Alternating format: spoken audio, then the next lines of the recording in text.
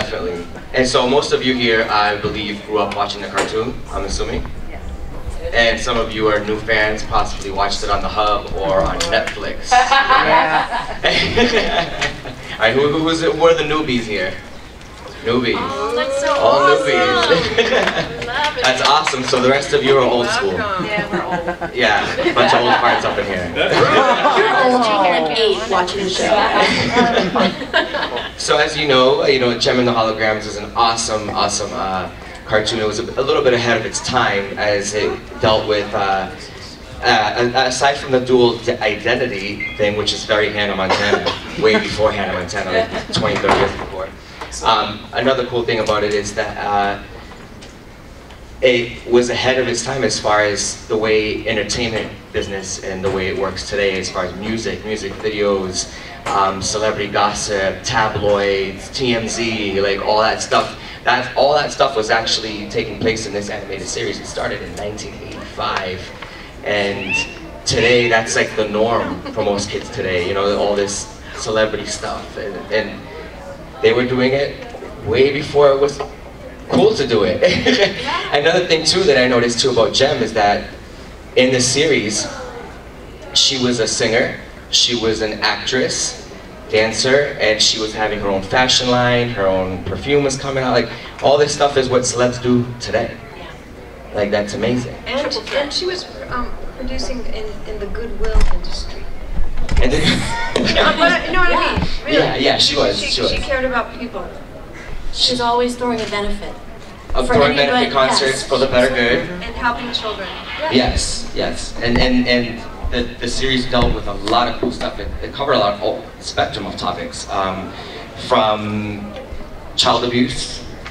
I mean, aside from the music, glamour, glitter, fashion, and fame, you know, it dealt with family loss, with death, with love affairs, with drug addiction, uh, being Arson. Arson. Well, the misfits, you know, the misfits are, are pretty. Yeah, Explosives. Yeah, explosive. I, the funny thing is, all the misfits, you guys, pretty bad. I mean, Driving you- recklessly. driving recklessly, kidnapping, arson, entry. Uh, what is it? Breaking and entering, Yeah. destruction of property. Uh-huh. Probably lots of, of really vulgar language and rude behavior. Yeah, and Impersonation. and you guys only got arrested once on the show. so that's pretty crazy. Perhaps we had our own line of deception going on. Synergy, make the pizzazz disappear as the cop is coming up. yeah, and, and, and for you, Samantha, how was it that you got the role of Jem? How did you, how did that all come about for you?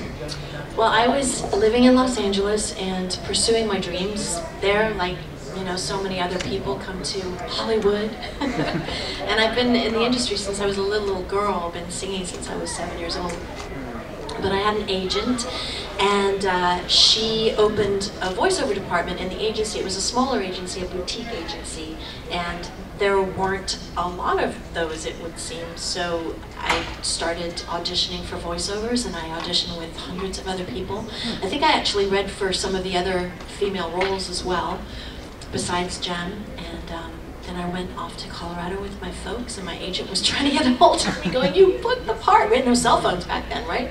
So they were like, "Oh no, she's not even in town." And she she booked Jem, and I I can't believe that we're here all these years later, still getting to talk to you lovely people about this wonderful show. I mean, Very true. yeah, it's kind of incredible. And one of the other Jem voice actors is uh, Phillips. And the funny thing is that she sings the theme song. You all know the theme song, the original theme song. Yeah.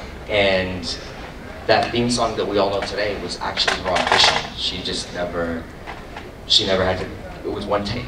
She had a cold and they were like, we're done, it's good, it's a wrap. She was like, really? Like, yep, that's it. And Yeah, I think she was mad too because she wanted She to wanted to do redo it. it. She's She like, was "No, like, it's I was not sick. good." Yeah. It was great.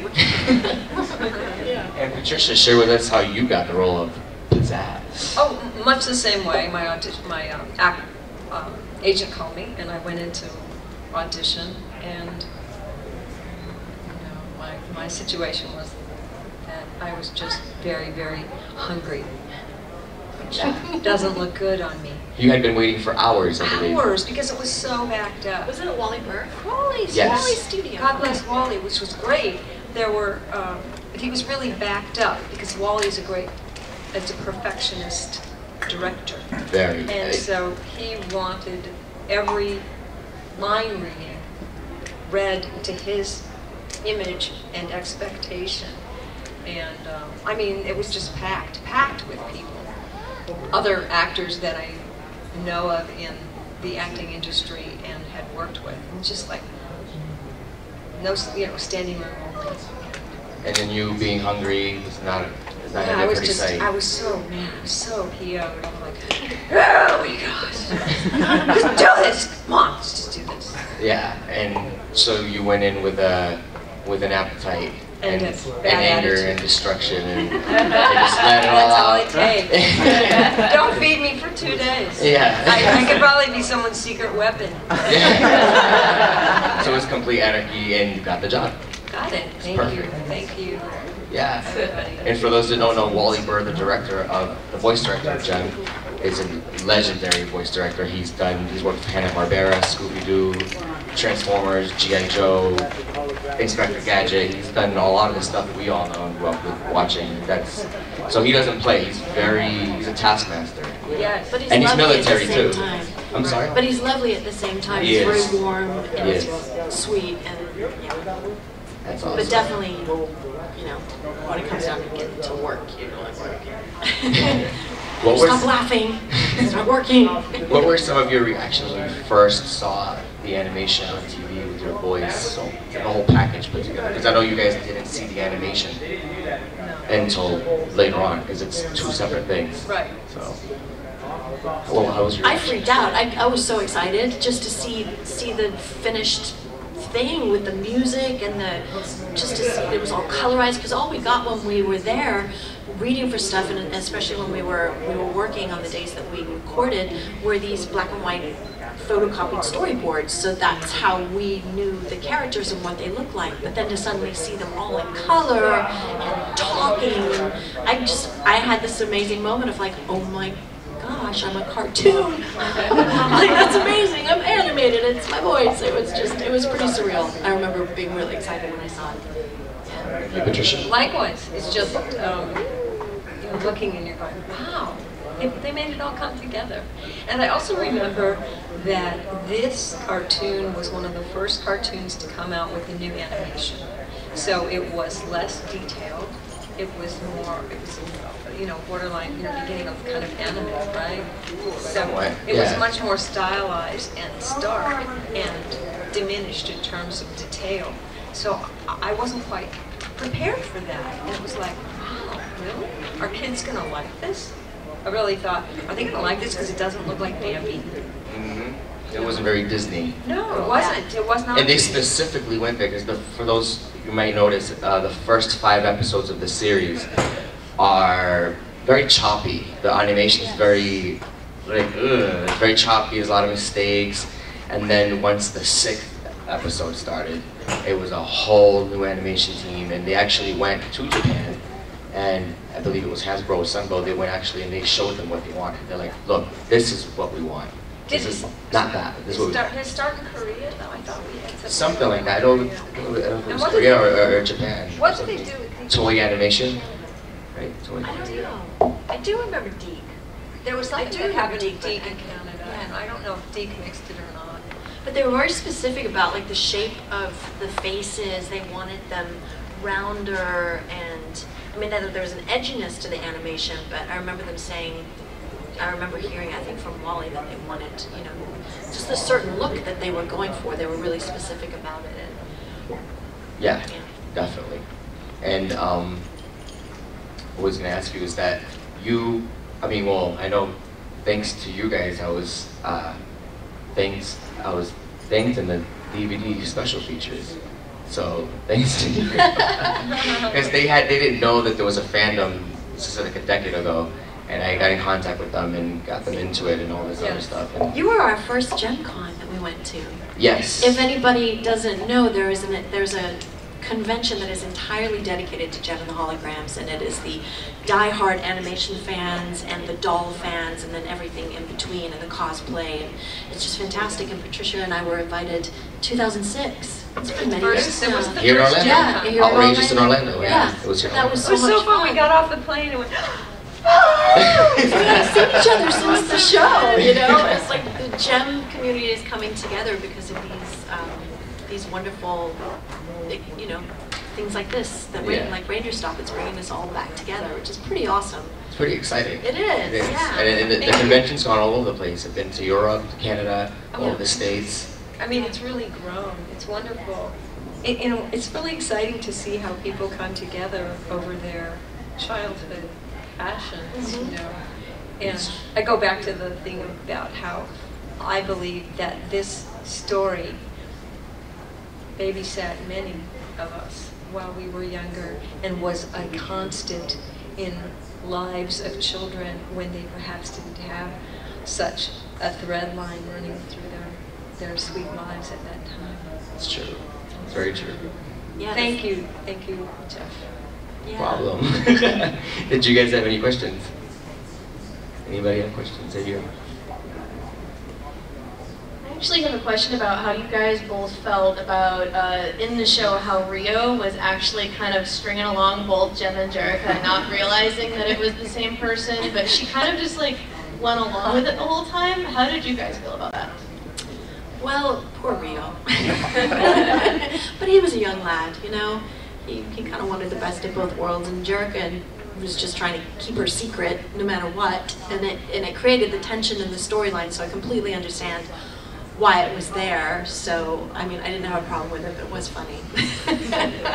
like, doesn't doesn't he know? She sounds the same. She kinda looks the same, kind of, sort of. Yeah. But it's a cartoon. You suspend your disbelief. What did you think? Well, actually, not what you think. Actually, what I'd ask is that.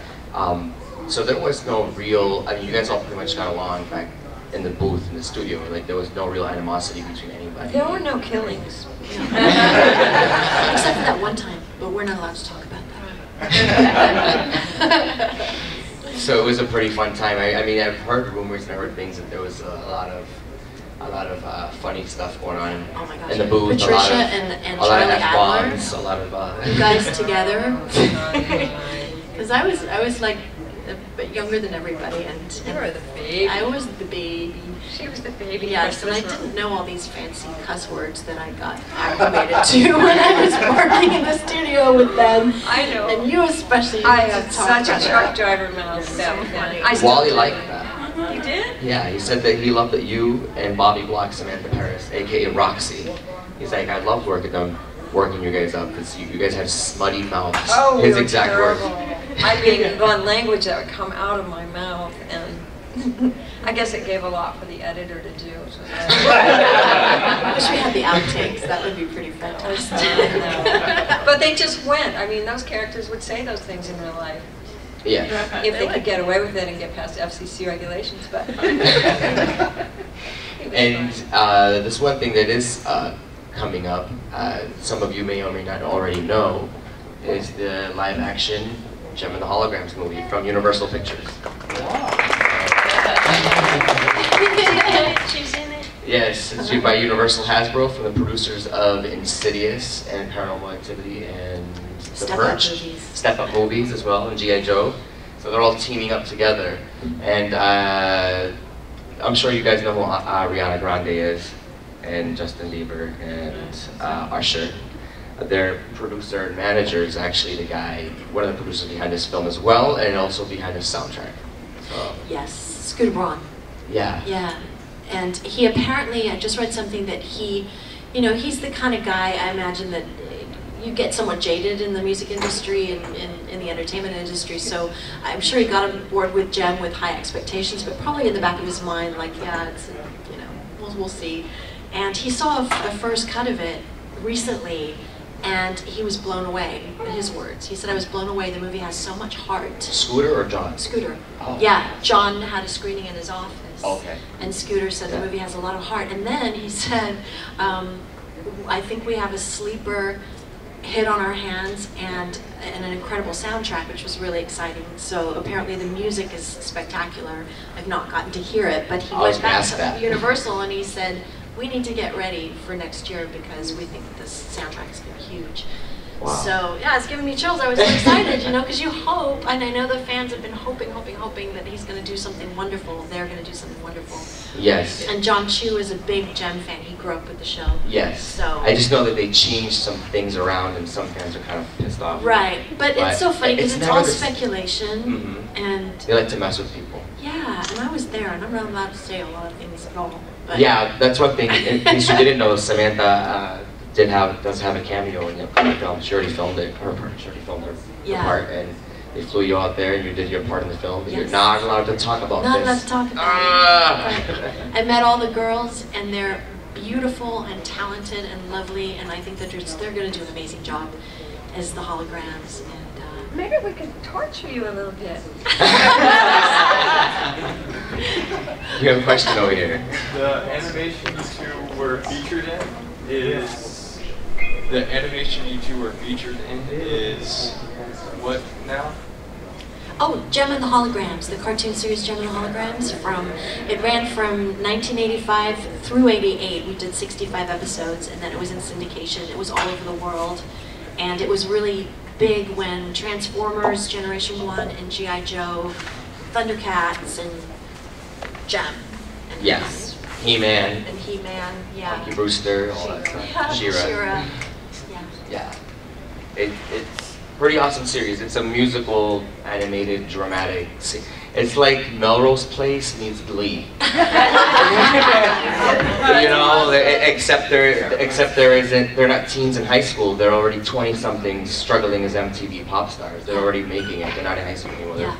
yeah, that's what it's pretty much about. And uh, And it's the dual identity. Um, Jerrica, she's her, she has these earrings. I have these earrings. Um, and it's connected to a supercomputer named Synergy, and she touches her earrings and she said, "It's Showtime Synergy." And then Synergy changes her into Jem, the rock star, The and her superstar whole Jem. band. They become the holograms, but they're really holograms. They're not. almost like a Hannah Montana, but way before. Yeah, It's I know. When I just- saw Hannah Montana, I was like, "Wait a minute!" It's a ripoff. Wait a How dare they? The writers must have been Jem fans. Well, I've watched the show for a long time, since I was a kid, and I've often wondered how you all were able to use the Misfits. Um, because, you know, there's a punk rock group named the Misfits, and uh, I was just curious how you all would be able to do that. Especially with the movie now, you guys have a soundtrack, and it's the Misfits. How, how did you guys get, uh, were able to use that name, or do you have any idea? Well, we would not be in charge of any of that licensing. No. So all we are doing is our job as voiceover artists and actors, actresses. So that Yeah. was totally out of our, That was Hasbro. that? Yeah, um, what happened was that I believe they had an agreement, they came to an agreement with Hasbro and the Glenn Danzig's rock band, the Real Misfits, so they came to an agreement. I guess I- some, something along the lines I heard as long as they were from a negative element, which they were. so he was okay with that. So he was- as long as they were badass, then like, he yeah, was cool with that. positive. we are reinforcing their, their, um, their advertising, right? Anybody else in here? so yeah, as long as as long as it was in that in that element, then he was happy with, with the name. And and then an, another band, which uh, the leader of the band is supposed to be here with us this weekend. He couldn't be here. Is Townsend Coleman, who's the lead singer of the Stingers. So he was in the works with us, and unfortunately plans fell through. He's very busy at NBC, but um, he's the lead singer of you know the third rock band, the Stingers, and he's pretty badass himself. and um, he, he's also blown away by all, by all of this. And yeah, yeah, and, and we're hoping to have him in a future show. Because he's also the voice of Michelangelo in the original Ninja Turtles. So, Cowabunga, dude. That's him. And if you ever watch NBC and you hear all the commercial breaks, like Tuesdays at 9, you know, like that kind of thing, that's him. Next week on Scandal. Do we have any Probably questions? recording in his pajamas in his studio in his house, which everybody does now. Did you know what the format of the show was going to be when you auditioned? The format, how do you, how do you mean? The way they're going to set up the show with the videos and the whole storyline and I guess, I guess it it must have been in the, in the scripts that we got, but I guess it doesn't really register until you see the cartoon, you know, it's all, because we, none of the musicians and the voice actors got to work together. We were all on separate coasts. Because you have to remember this is before the digital age, so there was no like flying digital files across country. We worked on analog two-inch tape, and so it was all in separate You guys worked in LA, Yes. and the music was recorded in New York City. in New York. So Yes. I think when when the cartoon actually it all came together was when we kind of I, that was my experience anyway, having the epiphany of oh my God, music videos, and it says. You know, the Misfits and the name of the song, like an MTV music Right, video. It was right. like, oh my God, okay, title. I get it, you know. Yeah. Yeah, Yeah. it was awesome. That's and I and another thing too that I noticed is that once the animation changed styles, I know you may not agree with. Uh, a lot of fans noticed this is that the characters look like you guys. At first they didn't, but then later on I think they must have sent headshots or something because Eric Raymond looks like Charlie Adler, Yeah. It's kind of weird. Yes. you know, and then Jerrica looks like you, and then Jem looks like Britta. And then same thing with Pizzazz. Sometimes I see her faces in- in certain shots, and she looks like a cross between you and Ellen. And It's it's my inner. and and then of course with with with Thompson and Gordon, same thing. It looks just like him. And Jetta. Jetta, Yeah, Louise like Dorsey. Holy wow! Yeah, it's she really amazing. Yeah, and uh, one more thing I, did, I did, didn't get to mention about uh, this, the voice of Ryan is that he's also the vocal coach for Lady Gaga and Alicia Keys. Oh, so, Sorry, I was just kind of curious too, since you guys worked with the voice coaches, uh, how about um, with uh, Riot, Minx, and Rapture, how come Minx is the only one who has a German accent, but they're all actually supposed to be from Germany? Do you guys know? Mm, something fell through the cracks. I, I could answer that. The reason is because Minx is actually from Germany, but the other two are American, and they traveled over to Europe to try to make it big, like a lot of bands do. They go to Europe first. Backstreet Boys, they're from here, from Orlando, Florida. NSYNC, from Orlando, Florida. Britney, Orlando, Florida. But then they all went overseas first, became huge stars overseas, and then transferred back. And that's how it's been a lot. Anastacia too. Anastacia as well. A lot of artists, a lot of artists, it's, they work their way Easier to break and break over there and then come here, and they're more receptive to things like that.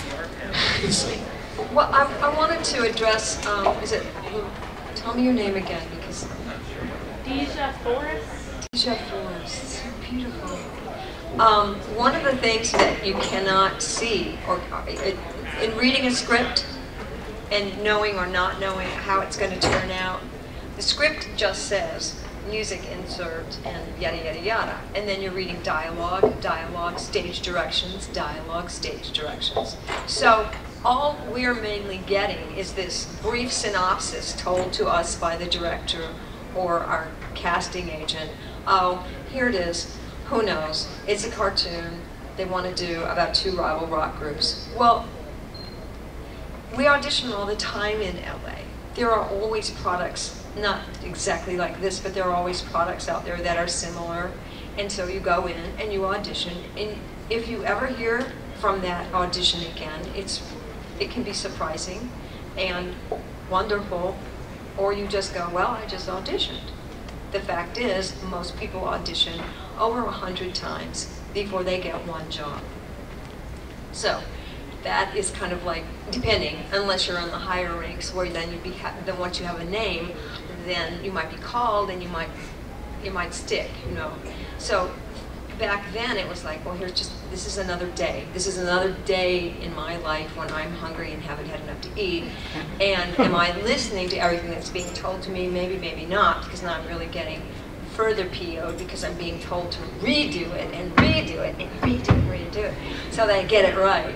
And um, so, in that respect, it, there's no idea usually in the point of the audition to envision what the final product would appear or sound like.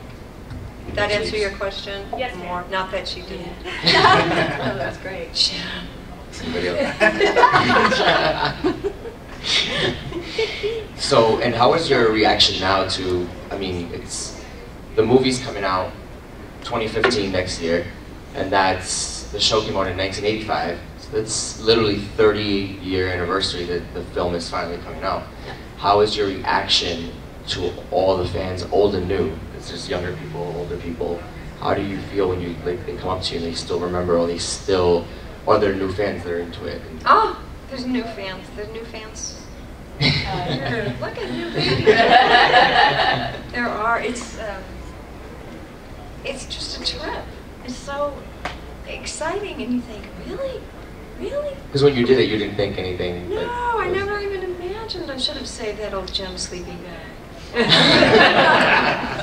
really? You know, things like that. And you, Sam? Same thing. Same thing. Because I mean, when I did the show, I was 18, so it was a wonderful paid job doing what I loved to do. But it was also me transitioning out of my parents' house, getting my first car, getting my first apartment, Being independent. my independence as a young woman. So that's what I remember, and it was it was incredible. It, it Jem to me is the show that just never stops giving because it availed me that transition in my life, for which I'm so grateful for. And then here we are, they're on the cusp of the 30th anniversary, and there's still Jem magic in the air. It's kind of surreal. It really is. It's just it's never gone away, and I'm kind It's of floored pretty crazy. it. And now, after aside from the new movie, there's also a, a brand new comic book series coming out uh, next April. So That's going to be cool. I was actually in Rhode Island, and uh, they were giving out these. It was a Rhode Island Comic Con. They were giving out these beautiful posters. It was Jem fan art, and it was Pizzazz and Jem, and it was gorgeous. I was like, who did who did the artwork? You know, what does Jem have to do to get one of these? I wanted one. and then a little while later, the the artist came over and she gifted me one, and she said, I'm in talks with Hasbro right now, but they really really love my work and are interested in uh, having me do the the drawings for the comic book. So I just found out, we were all like, oh my god, that's so exciting. And I just found Yeah. out a couple of days ago that she, in fact, will be doing the artwork for Jem. And she showed me on her phone what she had submitted of the drawings, and it was so fantastic. So I'm really excited. I can't wait to see it. I'm excited. beautiful. Just looking at the cover, it looks pretty cool. Like, Yeah. uh, I'm wondering what's going to come with that. So. I am too, yeah. One thing I did, uh, I we've heard about the film is that there's possibly not going to be any misfits in this film. But My lips are sealed. Don't want to mess with the misfits. I am because I hear it's an origin story, so they're gonna go a little bit before this is going to place, but then there might be something later on. I, I don't know. I can't. I know that they're driving everybody completely Insane, bonkers because yeah, they won't say. crazy. And I can say that I know quite a tart of lovely of stuff, and I'm, I signed a non-disclosure, so I don't want to Yeah, get sued. you signed- you signed a contract, you can't talk. yes, but I, I really have a, I have high hopes for this film. I think it's going to be lovely, and I think, I, I, I think it's going to be lovely. I think it's going to be awesome. Excited that. And I know Juliette Lewis is in it. Yes. Juliette Lewis is playing. You guys all know Juliette Lewis, I'm sure. So she's playing Erica Raymond. So they say. So like, they it's say. All, It's it's, a ru- all rumors. Rumors. Okay, because I'm like, wait, did they make. Eric Raymond a male, uh, female character? Wow. So it's like, I don't know. That's kind of crazy. And I, uh, are so Molly many Ringwald's in the film as well. You know Molly Ringwald Yeah, from The Breakfast Ringwald's Club, and Oh, boy, I can't Yeah. wait to see this. yeah. my speculation is that she's possibly playing Jem and Jerrica's mother. That's my speculation. So, so that's know. what I'm assuming because. No comment. Yeah, she has the red hair, and then you know Kimber has red hair, and then the girl who's playing Jem is the brunette reddish hair. So I'm like, okay, and I know it's an origin story, and Molly's too old to play one of the younger characters now, so she's either gonna be a caretaker or foster mom or their actual mom. So It's, that's it's my gonna be so lovely. It's gonna be it's gonna be a surprise for everybody, and and that's fun. That's fun. I know people are like losing it. They're like so mad. They're like, Yeah, ah, there's a lot of controversy as well over the casting of Shana. Yeah, I did see and hear a lot of, of that. and that's too bad, you know. Because she's, she's uh, for those who don't know, she's uh, Harold Perrineau's daughter. Yeah. Uh, is famous actor, African American actor, and and uh, his daughter is the, the, his wife is Caucasian, so Yeah. she's mulatto, she's half white, half black, but she's not dark enough Right. to play the role. So a lot of fans have been like ripping her to shreds, and I don't think that's cool. That's- but that's not it's not like she's not dark enough. She's supposed to look like Whitney Houston or or Beyonce or something like that, but she's not. She, she's lighter, a lighter skin tone, and the other. It's unfortunate, but I, I, I, I, I say judge her work when you see her when you see That's the the thing. It's like I just want to tell as you should. everybody, just chill, just chill out. Wait till the movie comes out, you know, and then ju- and then you can judge it all you want, you know. But like, let's wait till the movie comes out, and then you will know, you know. Yeah. So, Where will we find your movie in 2015? oh, the Jem and the Holograms movie. Yes. It's going to be. It's released by Universal, so it's going to be in movie theaters. Movie theaters. And then it's going to be, I'm sure, on you know all the paid channels. And I had this thought the other day, because I fly all the time, and I was like, that's going to be weird being on an airplane. And today the in-flight movie is Jem and the Holograms. like, it's going to be funny. Uh, two questions. Uh, uh, what about a platoon? And if it's possible, can you sing Jem and the Holograms theme song? I, I can't hear. I, I couldn't hear that. I'm sorry. Uh, what about a cartoon? Is there any cartoons in the works? A new animation? I, I did hear rumblings from, and it was a pretty reliable source that they are talking about a brand new cartoon. So um, that would be bittersweet in the sense of I hope that the original cast gets to be involved because we, I don't know about you, but I've, I've talked to a few of the cast members and we always hoped if it was a live act, if it was a feature film, it would be an animated feature film because you know so many of us are still working, doing doing voiceovers and that type of thing. Um, but we will have to wait and see. That that is the show business. It can be, it can backhand you. Well, were you all in the vocal booth the same time recording? Sometimes, sometimes, Okay. yes. So you could play off of each other? Oh, yes. That's cool. Which yeah, is great too, because when Pizzazz is like screaming at me, you know, you, you can react. You have like this energy going back and forth. Can you give us a pissed off sample of you yelling at Eric Raymond? Don't ever call me Phyllis. that is, that, yeah, that's her, her birth name was Phyllis Gabor. Yeah. Real, don't ever, don't, She gave, yeah, she gave it to me. don't ever call. How about a, uh, a Showtime synergy from Sam? It's Showtime synergy.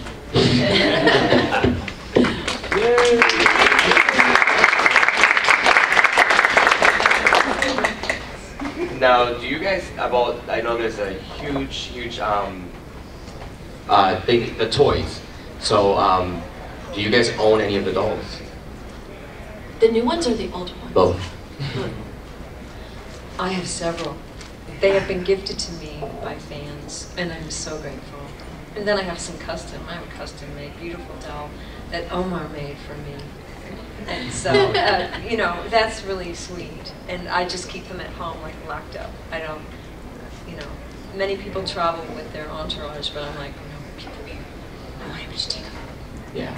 And you So- say.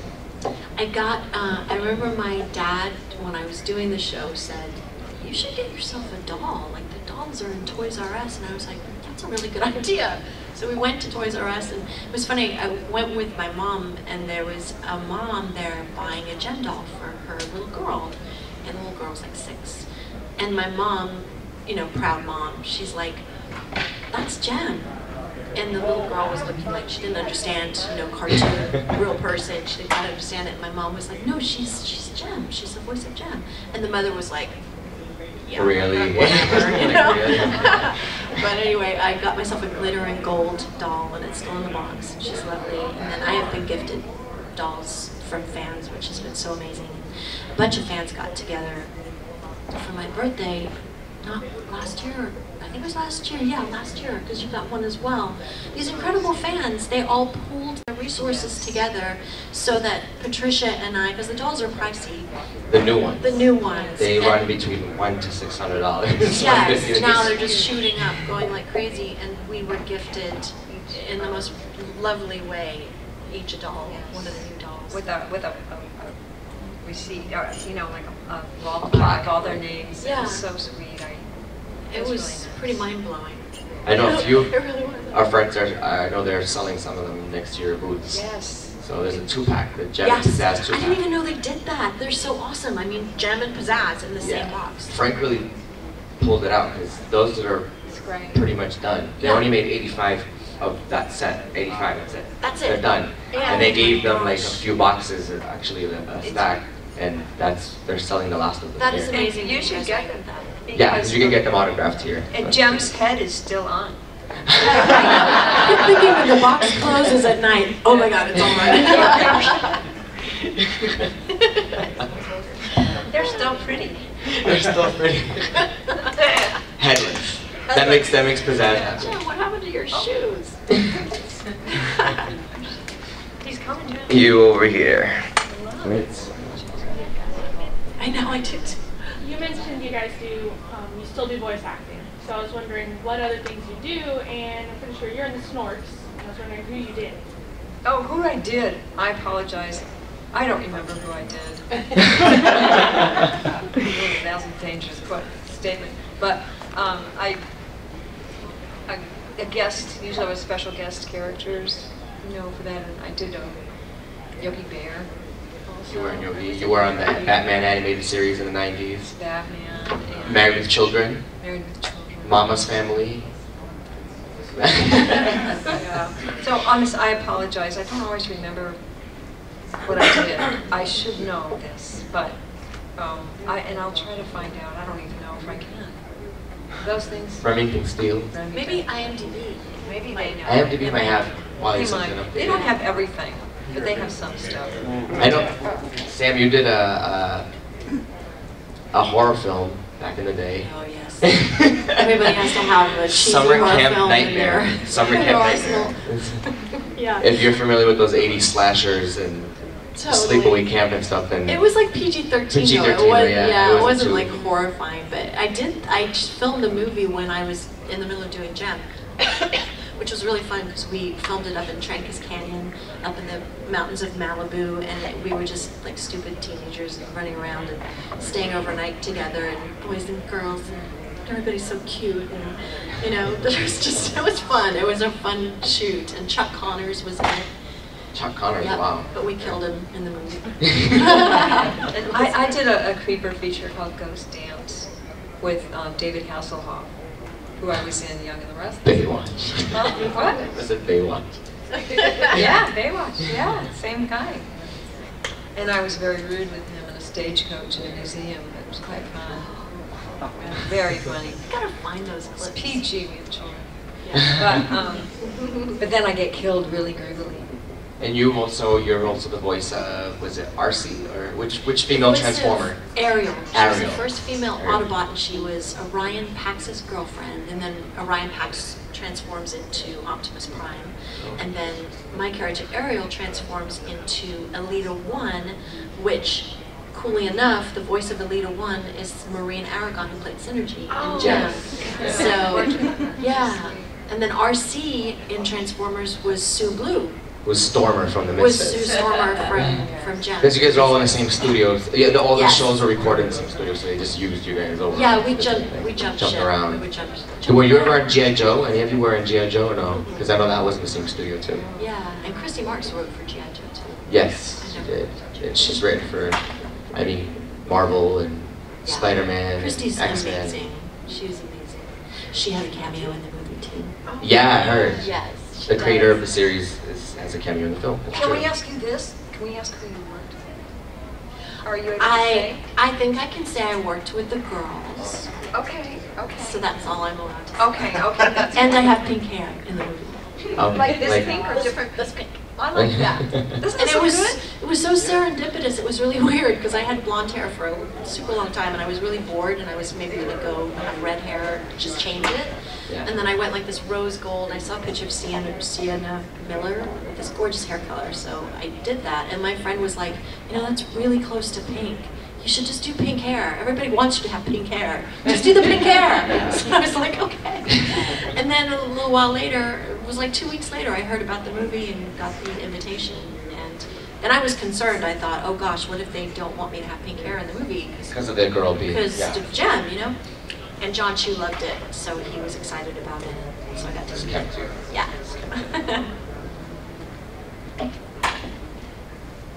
Um,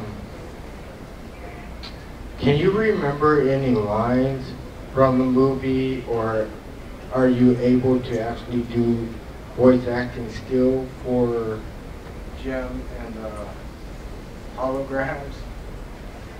Well, the, the show's off the air now. I mean, as far as we were not in production with Jem and the Holograms anymore. But, um, and remembering lines, oh my gosh, 65 episodes, that's a lot. The fans are always the ones that remember the lines.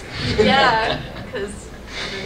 I'm always busted out with the lines. They don't Yeah. even remember them anymore. I have, I have one line I remember. Close your eyes. Shut up, pig face. Wait, do you, do you, if it isn't, well, if it isn't. Well, if it isn't little Miss Pink Hair and the sing-alongs. Little Miss Pink Hair and the sing-along. That's true. She did say that. That was the, the episode with the ski lodge. Like, let's throw a benefit because he's losing his ski lodge. And we'll Yes. Throw a benefit and we'll Yes. make lots of money and then you can keep it. Yes. Yeah.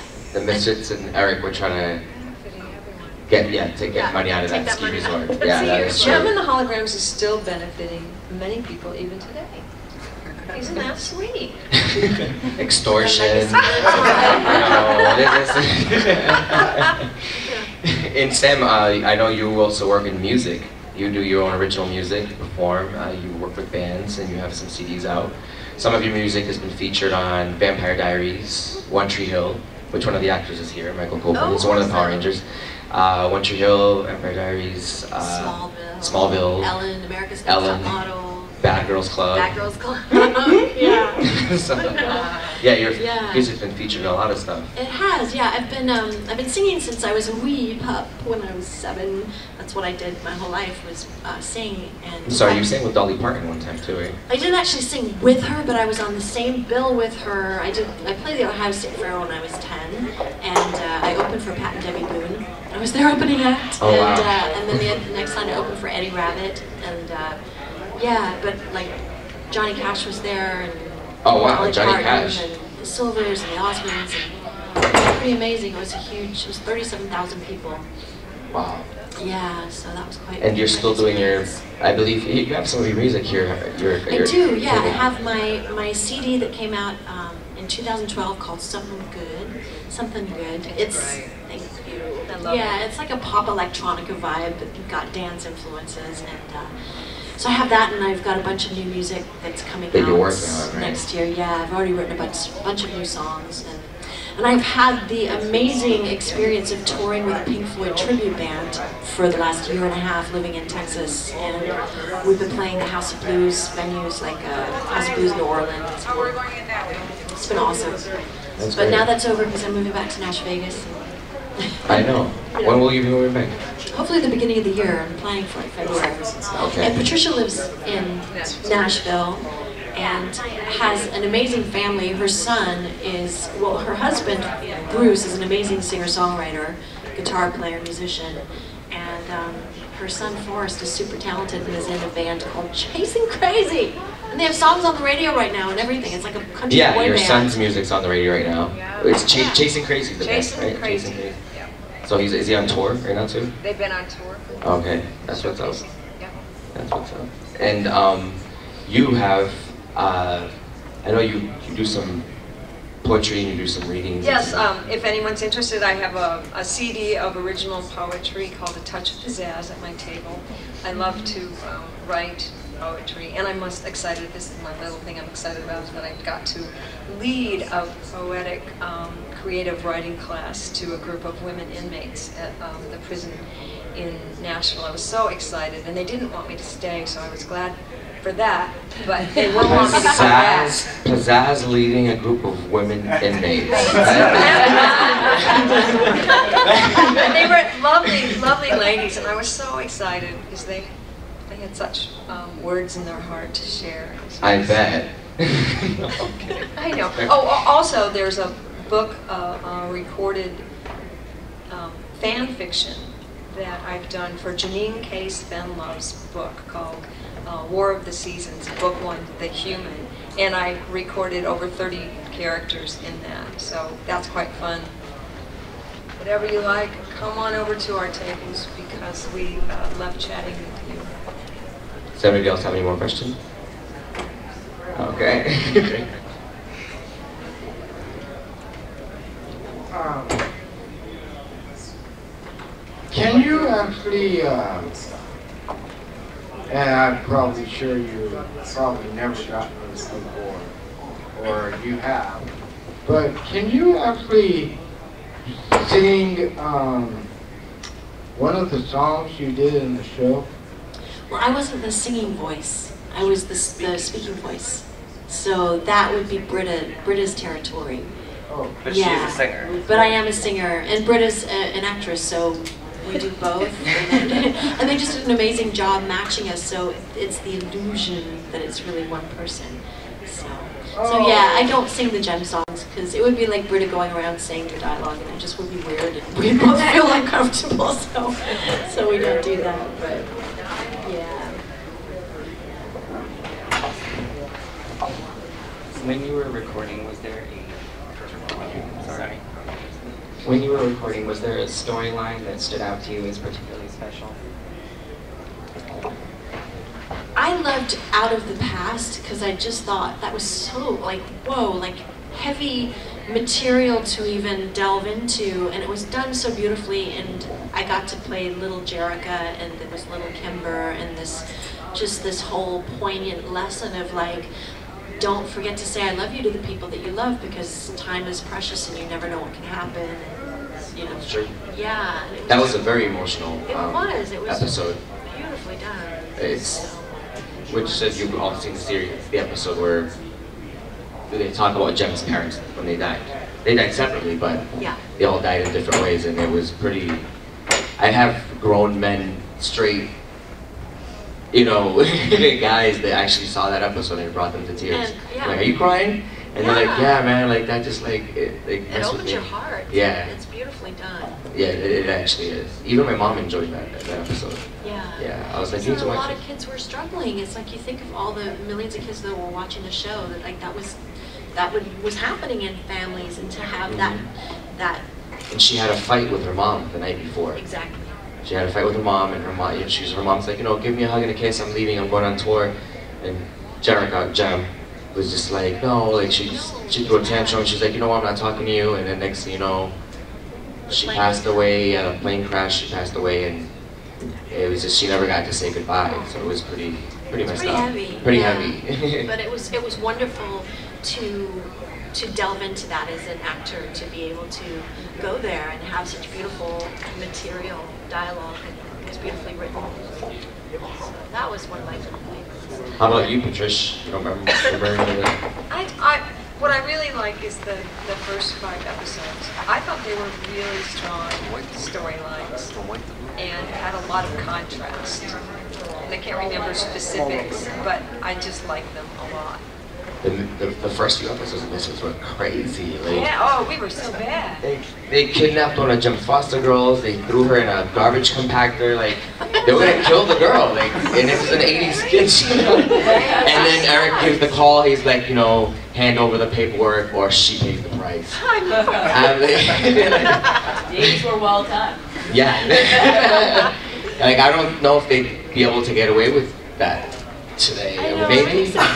It's like PC, but it's like look at Tom and Jerry and, and Well, it's, it's playing right now on the hub. It's playing on TV as we speak. true. Or Discovery Kids. Yeah, so So it is it's playing. standing the test of time. Hi. I just have a generic question. Obviously, Jem was one of my favorite cartoons growing up. I was just curious what kind of shows or cartoons you liked when you were growing up. Or as a young teenager. Um, well, my parents never let me watch TV. No, that's a lie. no, I'm sorry. Um, cartoons, I don't know. I'm, I'm so behind. You know, what I loved was, I mean, I like to watch Shirley Temple. Now that's going way back. and uh, Little Rascals. So it was more than cartoons. It was you know. I watched it too. I loved that because it was Sunday. Those were on Sunday, and I didn't watch too much on Saturday. No Disney cartoons? Because I know they were around forever. Well, I, you know, I liked the movies. That, The you know. I really like the old movies, family Bambi, and and then that, you know, Hundred Million Bucks. It's really going back.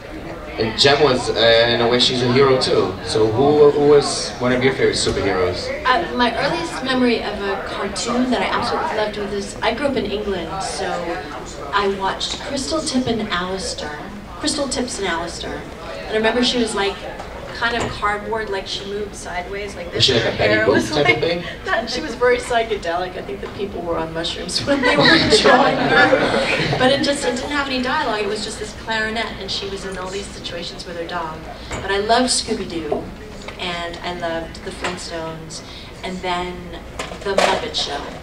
And because I lived in England and then we lived in Africa, and my TV was limited, and I kept moving continents, and it was crazy. But those are the main staples. And when I did Gem, uh, Wally Burr came in one day, and he's like, "the the guy that's coming in next to do a session is the voice of Scooby Doo. Would you want to meet him?" I was like, "Scooby Doo! I love Scooby Doo. I'd love to." And I have a picture signed by him. Oh, nice. Yeah. Very nice. It's pretty awesome. Um, being Jem and Pizzazz, what was your guys' favorite like fight kind of argument scene? Like personally, I liked um in Stitches when you guys fought over the clothes and the designs.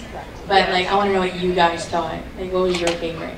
I'd have to revisit it because there were just so so many. I like the one where it's going to burn down the house. You know? Oh, you, I think you guys did burn down the house. Right, yeah. Burning that down the house. Literally. Yeah, literally. So there, there was a lot of, uh, every episode there was at least Yes. three cat fights between you guys. Right. I mean, that was just our dynamic. It was. We, you know, did we ever talk civil? I don't think so. I think at the No, at very, the very, very, very end. at very end, you guys, That was it. tried to wrap it up. Tried yeah, at the very end, you guys actually all made peace, which is a lot of people if they've never seen the final episode, they don't know Yeah. that you guys reconciled and were you guys made a truce. Yeah. Yeah, and you guys are like, you know what?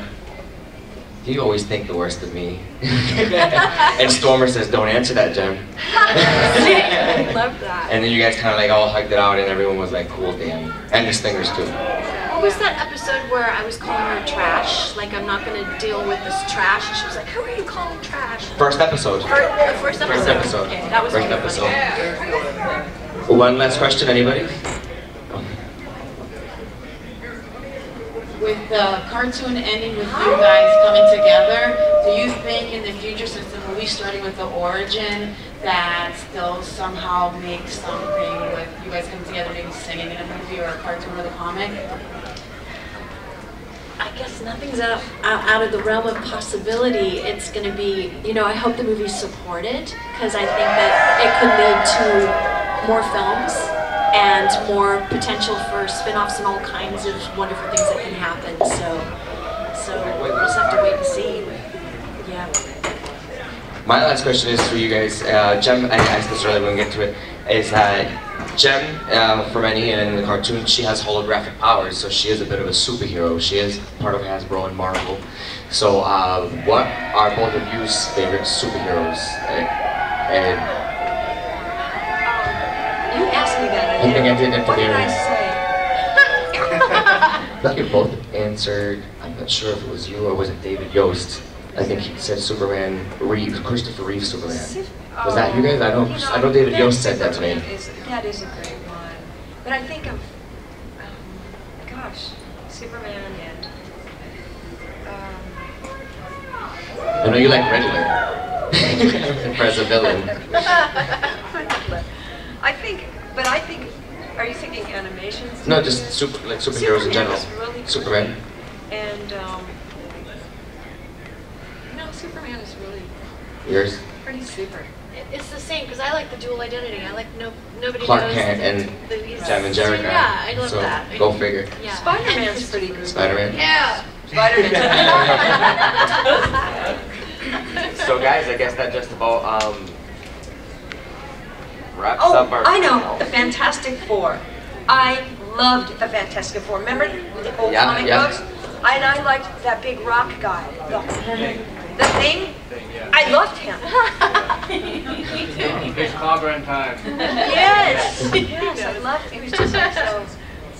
That's awesome. So guys, uh, welcome. You know, thanks for coming to the Truly Outrageous panel. We had some fun.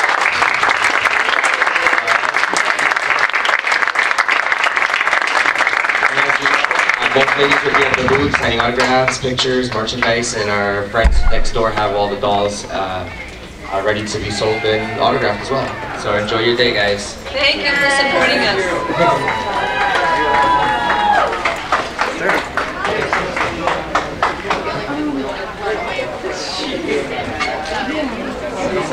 Come out this door, friends. Oh, yeah, y'all Because it would be like Britta going around saying the dialogue, and it just would be weird, and we both feel uncomfortable, so, so we don't do that, but, yeah. When you were recording, was there a sorry? When you were recording, was there a storyline that stood out to you as particularly special? I loved Out of the Past because I just thought that was so like whoa, like heavy material to even delve into, and it was done so beautifully. And I got to play little Jerrica, and there was little Kimber, and this just this whole poignant lesson of like. Don't forget to say I love you to the people that you love because time is precious and you never know what can happen. And, you know, Sure. yeah. it That was a very emotional It um, was. It was episode. beautifully done. It's which says you've all seen the series, the episode where they talk about Jem's parents when they died. They died separately, but Yeah. they all died in different ways, and it was pretty. I have grown men, straight, you know, guys that actually saw that episode and it brought them to tears. And, yeah. Like, are you crying? And they're like, Yeah. yeah, man, like that just like it, like It opens your heart. Yeah. It's beautifully done. Yeah, it, it actually is. Even my mom enjoyed that that episode. Yeah. Yeah, I was like, So you to a lot of kids were struggling. It's like you think of all the millions of kids that were watching the show. That like that was that would, was happening in families, and to have mm-hmm. that that And she had a fight with her mom the night before. exactly. She had a fight with her mom, and her mom, you know, she's her mom's like, you know, give me a hug and a kiss. I'm leaving. I'm going on tour. And Jerrica, Jem, was just like, no, like she she threw a tantrum. She's like, you know what? I'm not talking to you. And then next thing you know, she passed away at a plane crash. She passed away, and it was just she never got to say goodbye. So it was pretty pretty messed pretty up. heavy. Pretty yeah. heavy. but it was it was wonderful to to delve into that as an actor to be able to go there and have such beautiful material dialogue and it was beautifully written. So that was one of my. How about you, Patricia? You don't remember, remember any of that? I, I, what I really like is the, the first five episodes. I thought they were really strong storylines and had a lot of contrast. And I can't remember specifics, but I just like them a lot.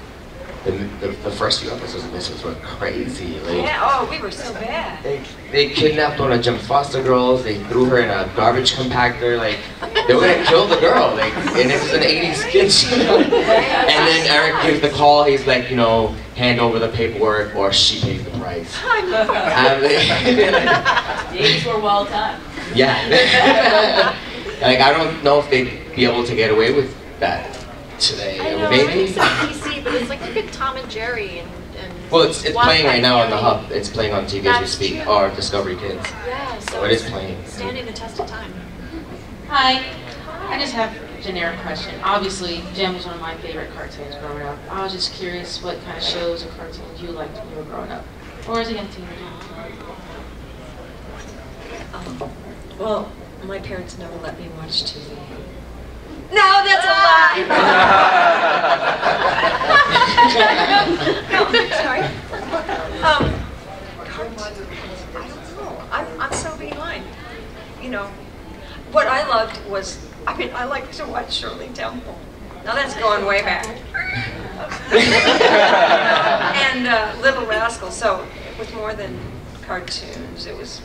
I watched that too. I loved that because it was I Sunday. Those were on Sunday, and I didn't watch much on Saturday. No Disney cartoons? Because I know they were around forever. Well, I, you know, I liked the movies. That, you know, I really like the old movies, Bambi. Bambi. And, and then that, you know, 100 million bucks, it's really going back.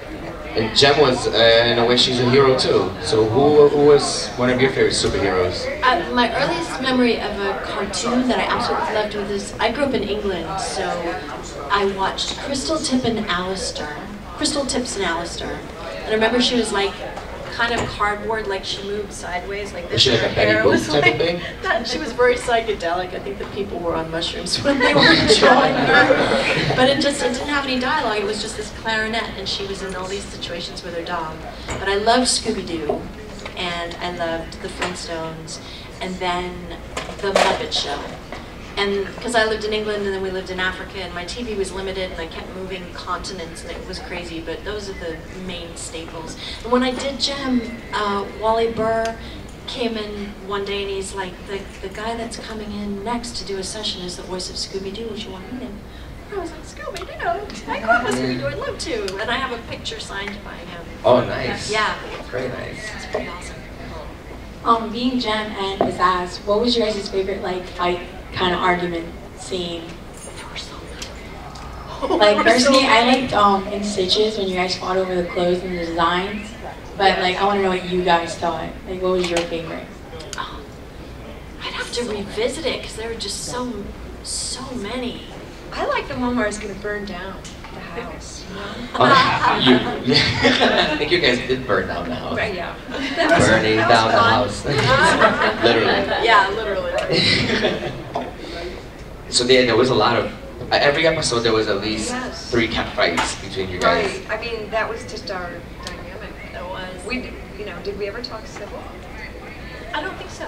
I think at No, at very, the very, very, very end. at very end, you guys, That was it. tried to wrap it up. They That tried yeah, at the very end, you guys actually all made peace, which is a lot of people if they've never seen the final episode, they don't know Yeah. that you guys reconciled and were you guys made a truce. Yeah. Yeah, and you guys are like, you know what?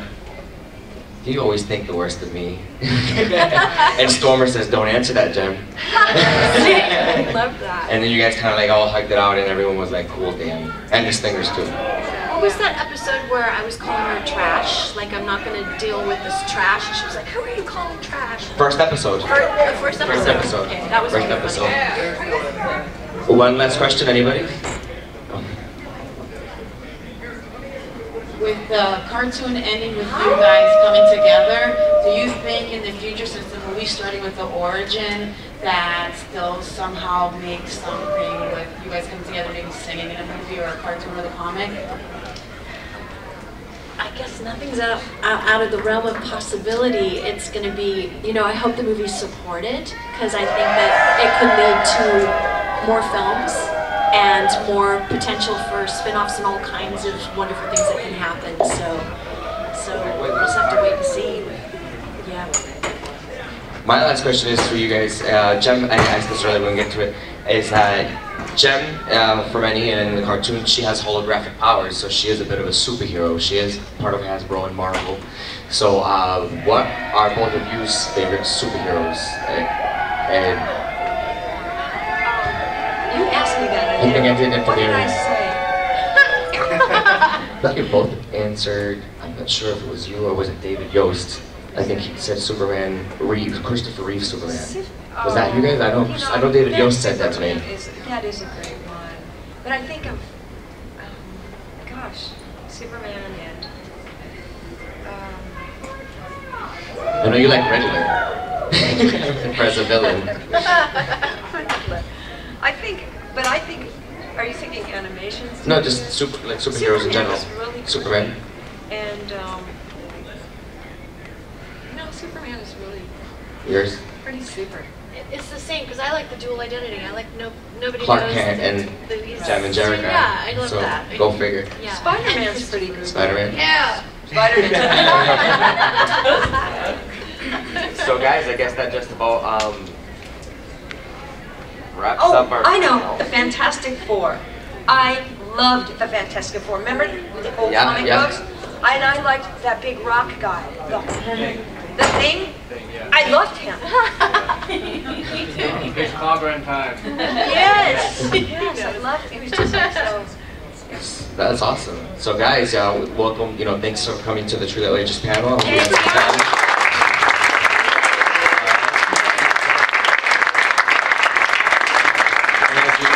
Both ladies will be at the booth signing autographs, pictures, merchandise, and our friends next door have all the dolls. Uh,